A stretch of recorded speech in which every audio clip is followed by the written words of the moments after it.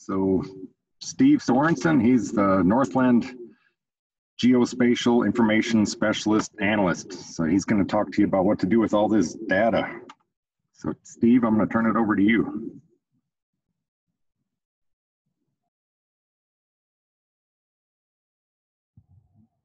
unmute myself. Can y'all hear me? We got you loud and clear. Good. good. All right. Guy up here.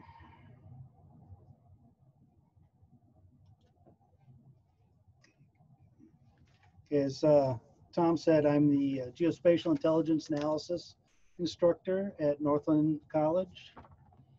And this afternoon, we're going to have fun. So especially with everybody having that carb rush and getting all tired and sleepy here, and I'm just gonna lull you right into, this. I mean, uh, get you all excited. So uh, we're gonna talk about UAS imagery and GIS this afternoon. And with that, let's get started. So we're going to cover availability of UAS imagery. Then we're going to go into some uh, developing sample data sets, creating mosaics and stitching, open source software, and some use of ArcGIS online for analysis. Um, hopefully you are all able to download Google Earth Pro if you don't have it already um, and log into Arc ArcGIS Online and to esri.com. If you haven't, you just get to watch me go through it. So no worries. Okay, so availability of imagery. If you don't have your own drone, there are several places you can get imagery to utilize and process. Um, most of it I look at is free imagery, so it uh, shouldn't cost you anything, which is really helpful. But um, a lot of the states, their either their IT or their Department of Natural Resources will have um, imagery sources. In Minnesota, the uh, Minnesota State uh, IT Services has what they call MnGeo. It's a state repository for um, geospatial and geographic information. And the Minnesota Department of Natural Resources has a site called MnTOPO that does the same thing. I'm sure other states also have similar services. So if you were to log into the MnGeo site, this is what you'd be greeted with. So you can see the, the options they have, several offerings and information on finding GIS data. If you log into the MnTOPO site, theirs is a little different. It brings you right into a map. So you can talk about, look at GPS information, download data. You can do elevations. So on this one here, you see, going back to the first one, you see just a regular map. Steve, could I have you share your screen? Sure, thought it was. Thank you. Let's go back one here. Okay, so to this screen here, you're seeing the, the GPS location, just a regular map. Steve, we're not seeing it yet. Oh, great. I don't know why that wouldn't be.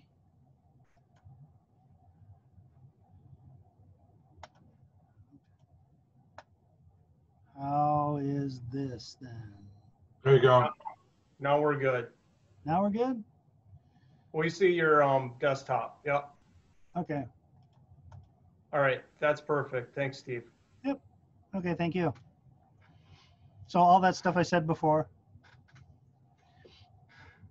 The availability, different agencies you can get information from. That's what the Min uh, Geo site looks like. And that, that's a repository for the state. So all the stuff you see, uh, or I should say, most of the stuff you see on MnTOPO would be in MnGeo, um, plus other data that's been collected by other uh, state agencies. And then MnTOPO, like I was saying, you got the your regular map, GPS location. You can download data to it. This one shows elevations. So not only do we have the map, now we have contour elevations to it. You can pull in layers. This layer here is actually showing flooding along the river. So that's where the flooding comes up, right up next to the runway, which is always good. And then you can also add a base map to it. So now we've got a regular imagery map, base map underneath with our contours and a layer. So that, that layering effect of uh, adding more information via the layers is what really makes um, GIS stand out and help with analysis. So US Geological Survey or USGS is a wonderful site. They have tons of maps and information. So you can get pretty much maps on anything you want. Water maps, land maps. And the plus side to USGS is that the larger government entities like NGA, the National Geospatial Intelligence Agency, they deal in both classified and unclassified data, but their unclassified data they send off to USGS to make it available to the public. And when they declassify classified information, that then gets also gets sent over to USGS. So the benefits of government information. So that that works through there. They're basically the portal for all the, the data or a lot of the data. But there are also other entities out there. As you can see, see me on their, their site. Have different different locations you can go gather that information, get energy, geology information. Data and tools, GIS data, map topics, maps. Another agency you can get stuff from is NASA. NASA does have a lot of information you can pull down and uh, utilize in your classes. Can become very helpful. They also have, let's see, they have one. Let's see down here.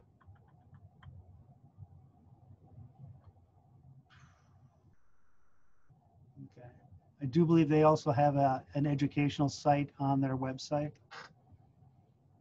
So they, they provide data and information to educational institutions.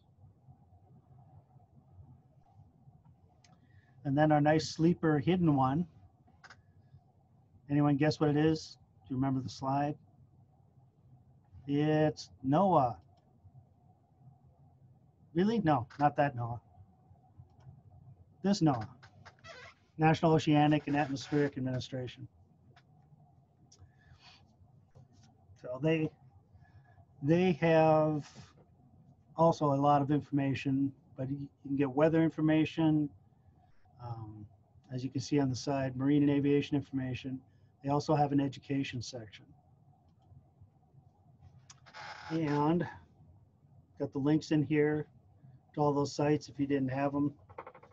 So you can access those as you need to or would want to.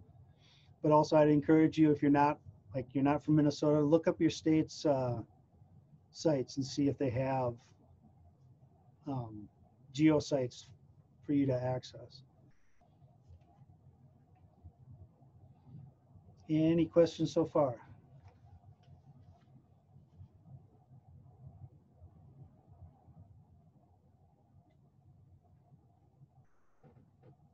Okay. No questions? We'll just keep driving on. So, developing sample, sample data sets.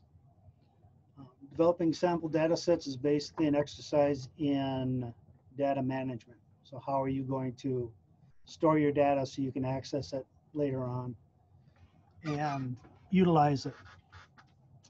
Data can take up a huge amount of space. So, if you can access offsite uh, storage for it, it's wonderful, or save it in small bites.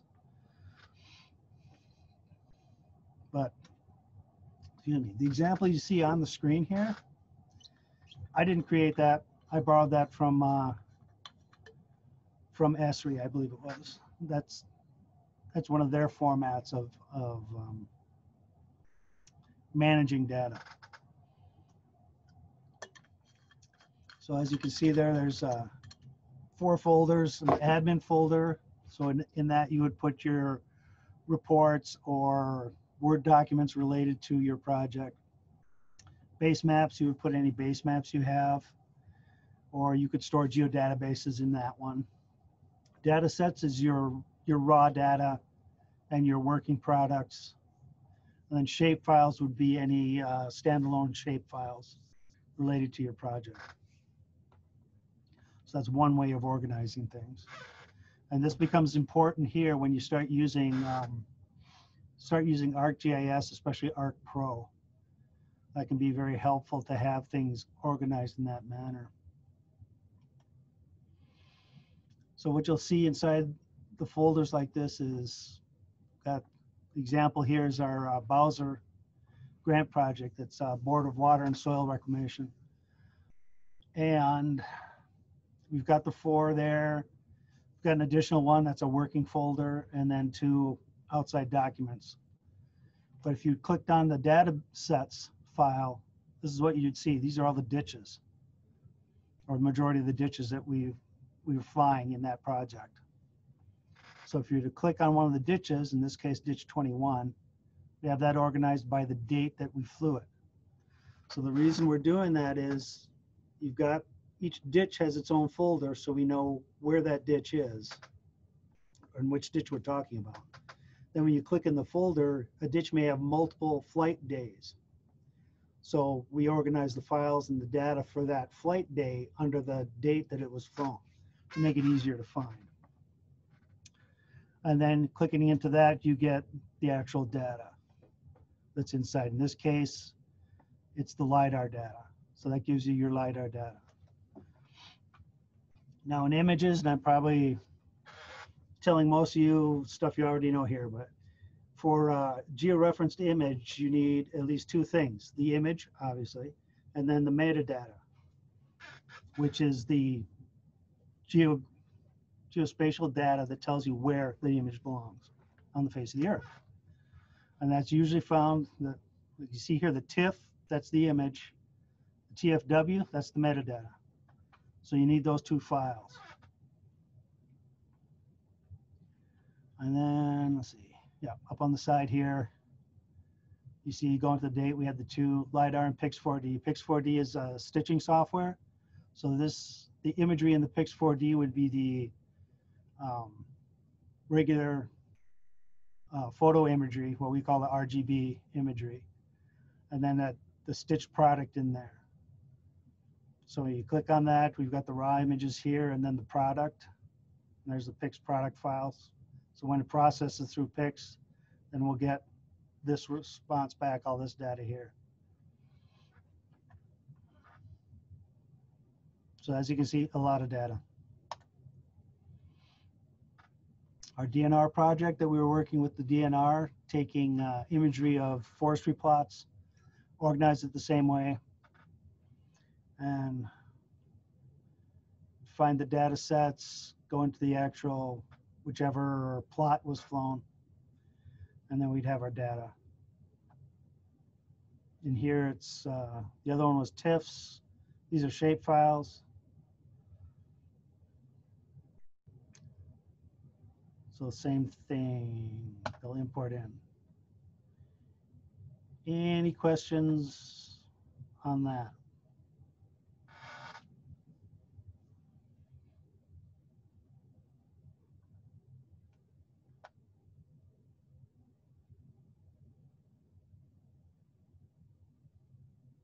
Okay, no questions. Moving forward. Creating mosaics and stitching. So what, what the software does when it, uh, when it stitches the images together, it's ba basically making a collage, a mosaic of all the individual images. So in, in most flights that we do, we average around 100 to a couple, couple hundred, almost a thousand images, depending on the size of the, the ditch or field we're flying. So the example you're seeing here is Pix4D. So you would open up a new project, import the images, and then it'll it'll stitch it together or show you the the field. Each of these dots here is an individual image. So it'll it georeferences that picture to to the earth, and then when it stitches it together, it matches. What the stitching does is it matches the imagery, the pixel images, and also matches the georeference to it. So what you end up with, excuse me, what you end up with then is the mosaic here. And in reference to what's around it, if you zoom out, then you can see see what's on there. This one here is where we're go.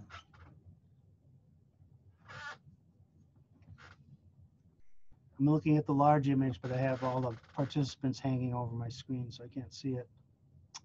But This one looks like a DSM here of the same area. So you can get both out of this, out of the processing in PIX. So.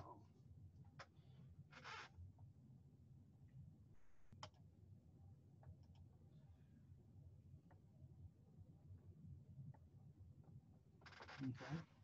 So like I was saying, takes a couple hundred pictures, stitches them together into the georeferenced image.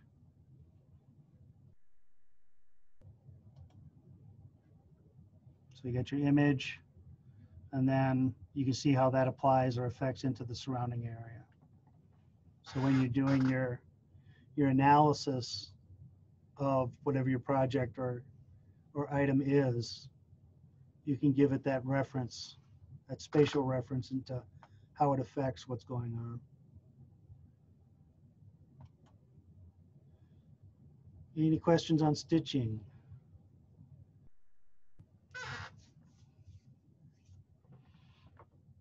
Okay. So I use Pix4D as an example of stitching software. There are many different softwares out there. You don't have to use Pix4D.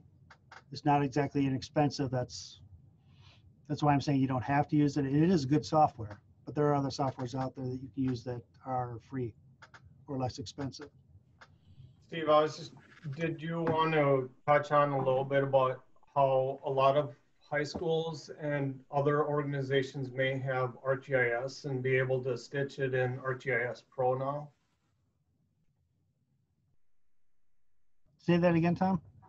Um, a lot of schools may have access to Esri products, ArcGIS, and using, they should be able to implement, and, and we will talk a little bit about that in your lesson plans tomorrow, as far as utilizing ArcGIS Pro for stitching and for generating some of these products, which may be free or very little cost under some of these agreements that Esri might have with the states. Yes. I was going to touch on that a little yesterday or tomorrow, but we can touch on some of that today too. Esri does have some stitching uh, functionality. In fact, they have um, Drone2Map, which uh, literally takes the images from the drone, processes it through actually Pix4D, and produces your image for you. So it, it's kind of like a I don't want to say a one-stop shop, but it shortens the whole processing thing. It, it automates a lot of that for you. So it can process it out. There's other things you can do in ArcGIS, um, especially in like Pro, ArcGIS Pro, where you can uh, go into scene either global or local and uh, do more um, analysis and manipulation of the imagery. Um, So it's, I like to start simple with Google Earth Pro, but comparing Google Earth Pro to ArcGIS is like ArcGIS, ArcGIS is on steroids. It's there's a lot, lot more you can do with ArcGIS than you can with uh, Google Earth. And I would encourage you if your state does have um, a, a license, like a state license, um, educational license for ArcGIS for Esri, I would strongly encourage you to to get uh, hooked up with that. It can make a big difference. Minnesota does. The Department of Education has a educational license with Esri, so that makes a lot of uh, Esri software and uh, applications available to us. So I would would highly encourage you to to seek out your your state's Department of Education or whoever uh, runs that for your state and get that set up. If they don't have it set up, if they do, access it. Because as we'll see a little later on here, that, that can work to your advantage greatly. Okay. References. So here's some, some links to online software for stitching. Um, I'm not going to go into each of them because I think that would take too long here, given the time we have. But you can visit those sites, see what they have. Some of them have um, the words escaping me. Um, basically, free trial um, licenses where you can just do a free trial of it, see how it works, and then you can either commit or not commit. So it's worth checking out to see what works best for you for your um, your purposes in your classes. And now the fun part, ArcGIS Online for analysis. So we've got all these images, we've got a project or something to work on for the class. What do we do? Well, let us exit out of here and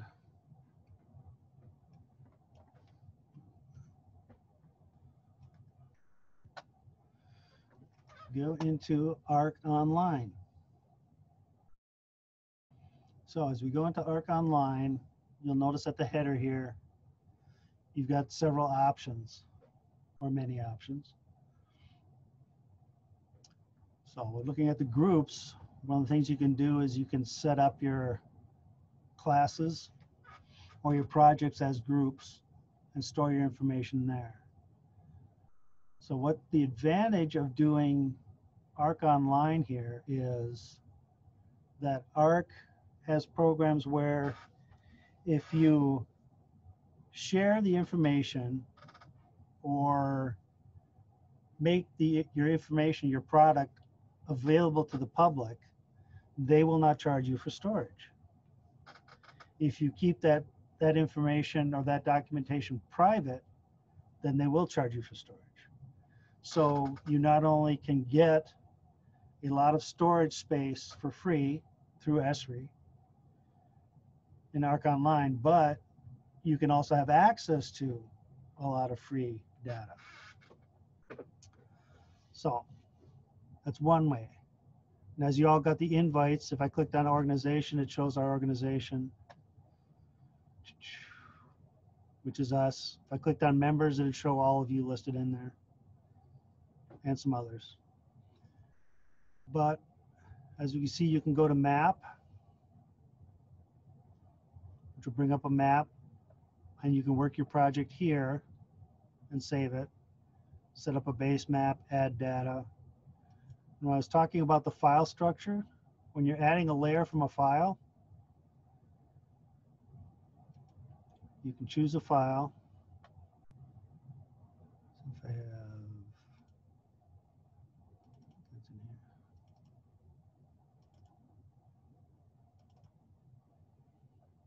choose the LiDAR data set. I'm going to go to, just click on DNR. It's not going to let me do that, is it? No. Okay, we'll do it the hard way.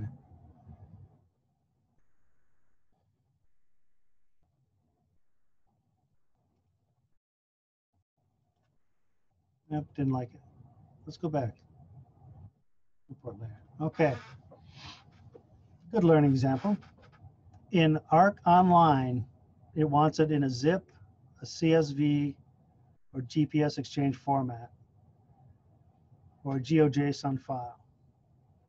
So what I had in my data set was not any of those, so it wouldn't import it. So you have to remember to, when you're looking at importing data, it has to be in the proper file format. So you may have to change file formats as you're importing data. So, sorry, I thought I had one on there. But like in base map, you can change your base map to whatever you want. Do imagery, brings up the imagery. So, go back. Gallery. Okay, so this is what I was talking about, storing and sharing. When you create documents on uh, on Arc Online, it'll save them in your gallery. So now you've got all these different maps in here. I've got a bunch of them.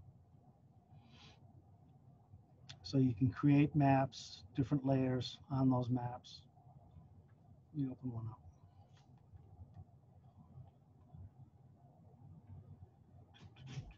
I'm not seeing the one I want. I'll just bring one up.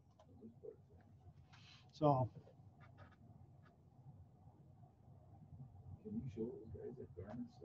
So as you bring a layer in, it's got the layer there, georeferenced.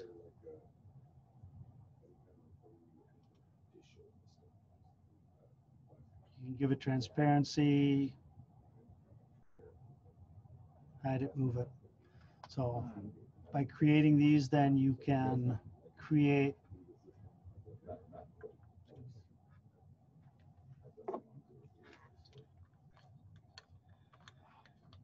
create different data and information images with each layer telling it its own story. And the advantage of ARC Online is that you have story maps.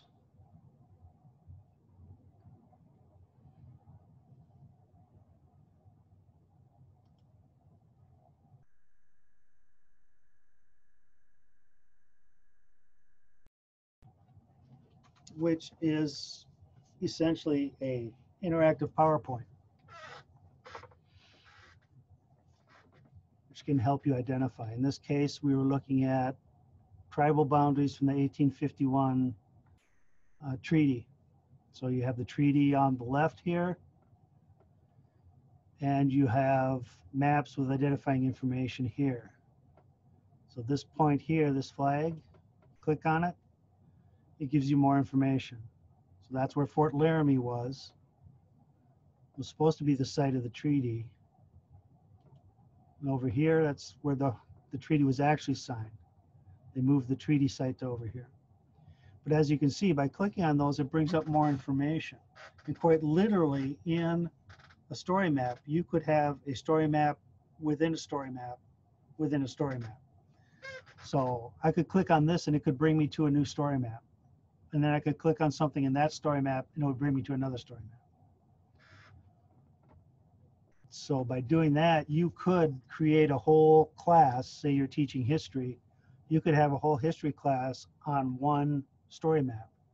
It just goes from different section to section as you weed through it. This, uh, they have multiple setups. This setup, we have the tabs across the top and it moves from topic to topic. So here, the Assiniboine, this is the reservation territory, the boundaries of the Assiniboine territory as described from the treaty. Now what we did with that, how we got that was you read the treaty and just followed the directions. It's like connect the dots.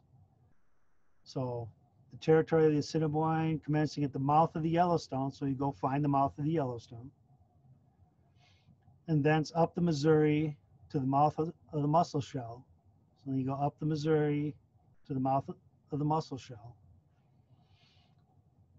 And you just start making those points. And by the time you connect all the dots, or make the dots, then connect the dots, now you have the boundary. So that's one use of GIS in, and story maps in um, lesson plans and education. That's one way of using it. Um, what else we got here? Switch over to.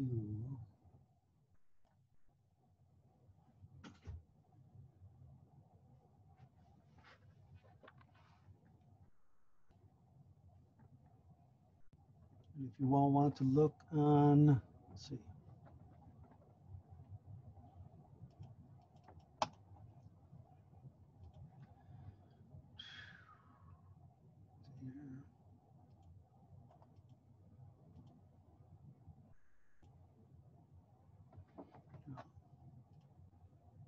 Go to this first before we start into that.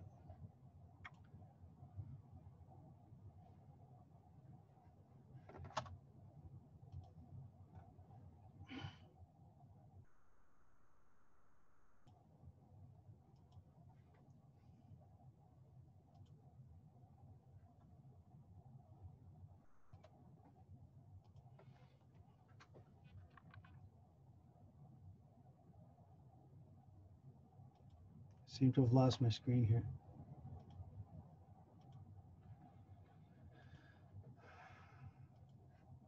Okay. That's not working. What screen are you seeing right now? We're seeing the COVID-19 support. Okay. That's what we need. Okay. So on esri.com, if you log into that, which you should all have access to,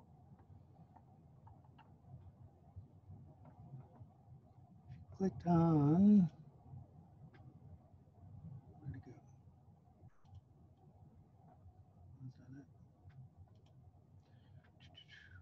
Go? Into mapping. You see on mapping. Go into story maps.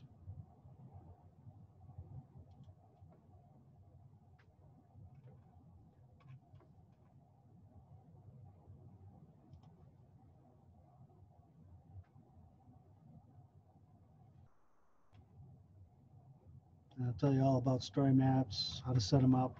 The important part on Esri is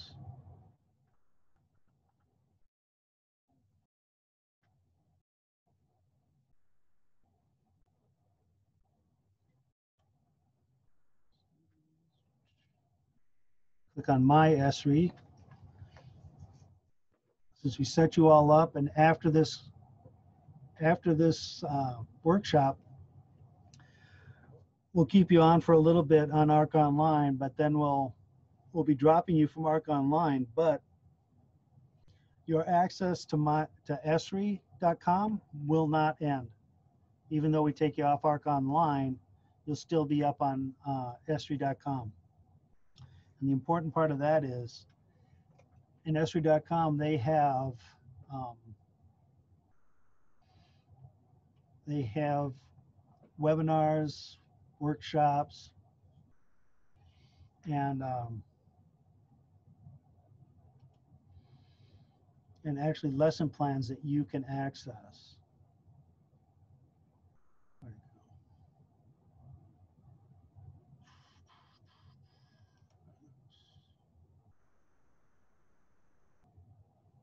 Let's no, no.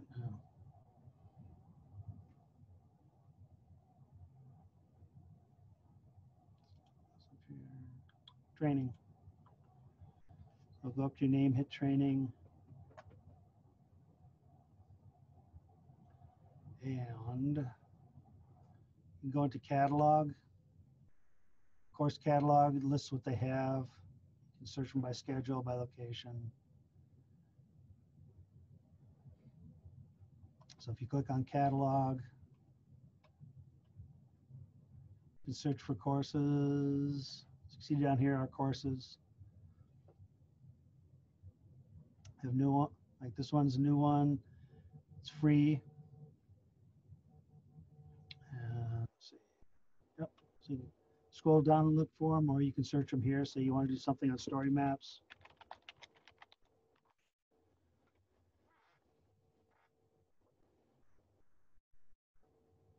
And it'll bring up story map. So some are free, some are not free. But this gives you access to all that, all those webinars, tutorials, learning plans. You can access all that for your uh, for your classes.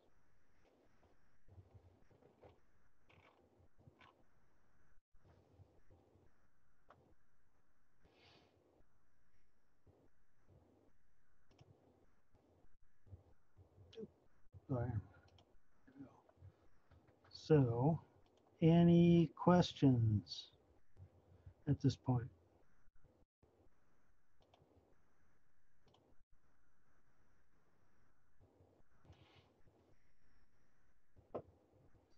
Nothing in the chat yet, sir. Nothing in, huh? Okay. Well, if we go to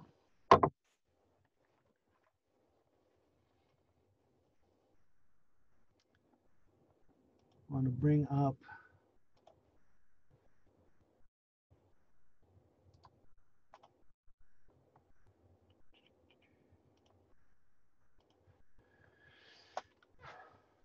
bring up Google Earth Pro. You can see a plenty of spots. I got the Earth on here. And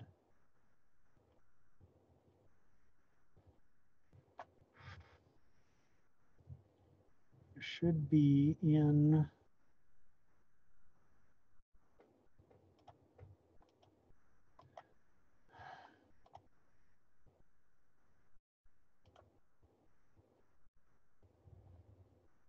Okay, in your classes, there should be.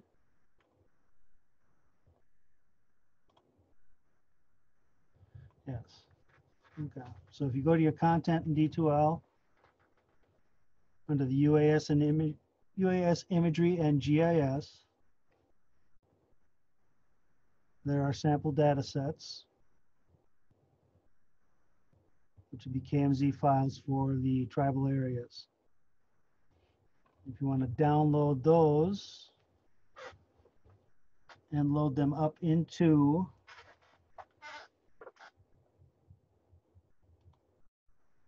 Google Earth Pro,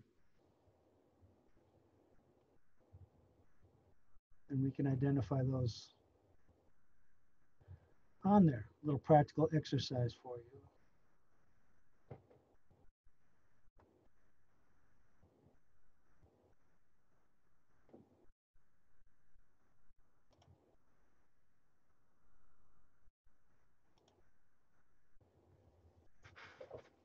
So.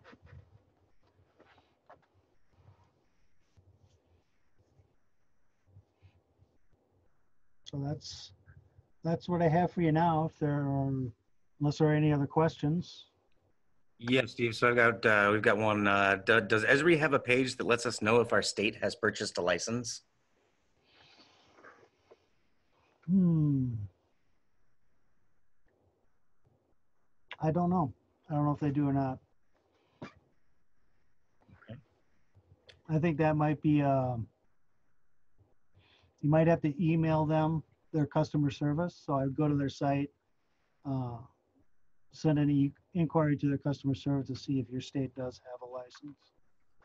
Uh, this is Michael Hernandez in Beaver State.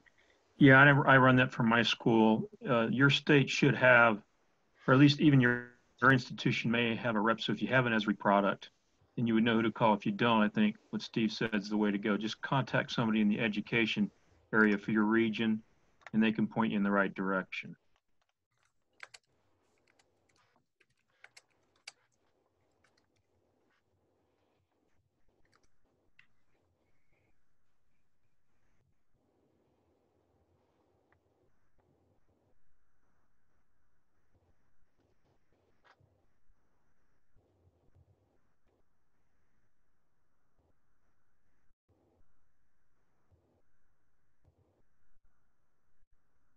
And Steve, uh, could you walk through again uh, on the D2L site from when you open the course, how to get to your sample data? Sure. Okay, so when you open the course,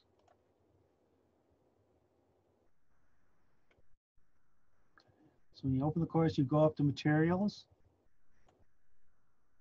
You click on content. And scroll down to UAS imagery and GIS. You click on that and it'll drop down the inside files, but if you just click on that, it brings you to this page. And it'll be in the develop sample data sets. You Click on the, the down arrow on that and all the, the KMZs, the data is in there.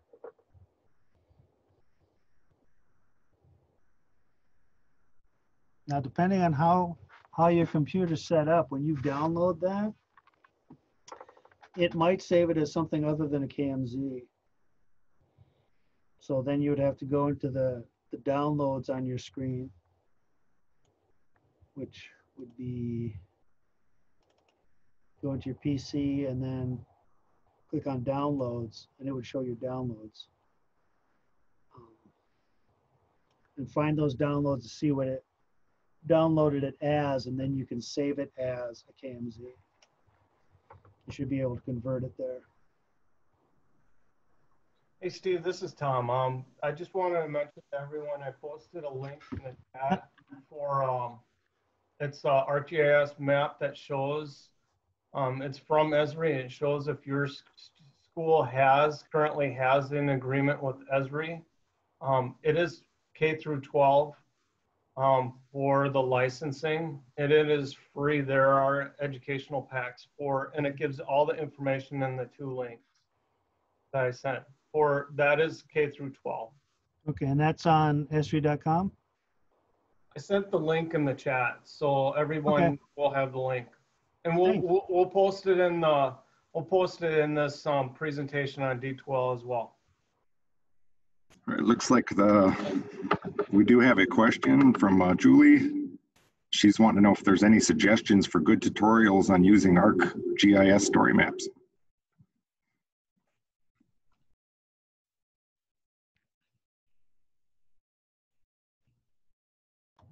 Here, let me take a look. There should be, I think I have that map, that up here.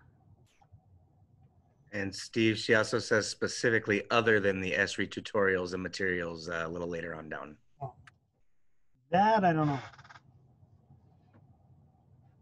I've only used the ESRI ones, but, uh, well, I take that back. There were Geotech, and let me go to that site for you here.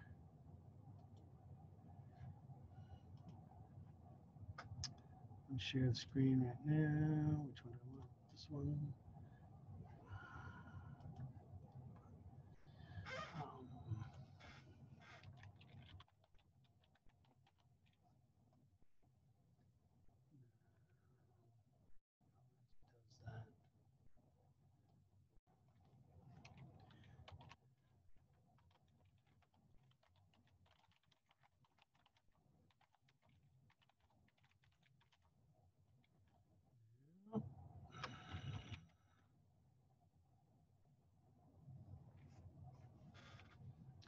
Never on here?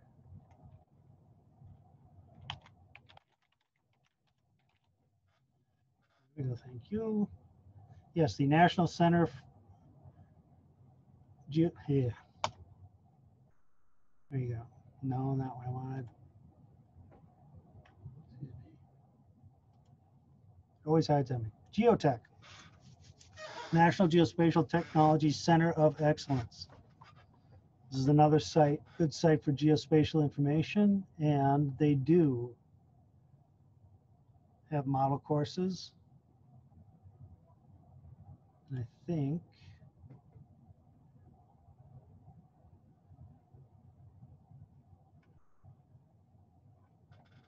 find it here.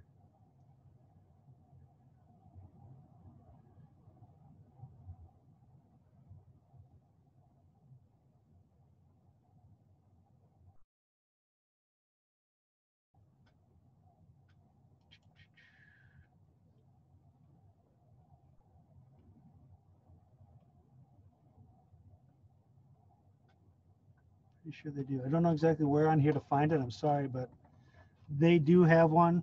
And if we can't find one, I can certainly, I know the, uh, the instructor who has done modules for geotech. So I can get, get those from her or get you in touch with her.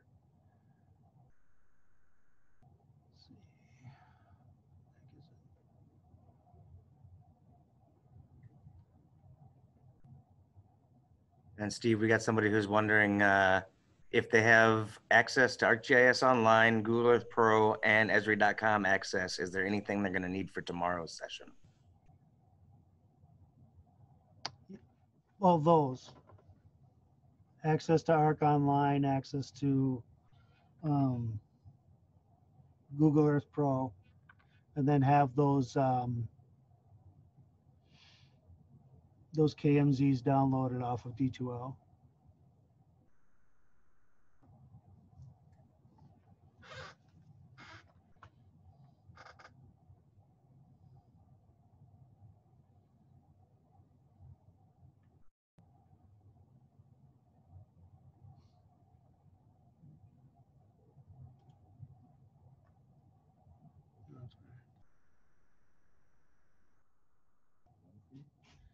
Yep, that's it.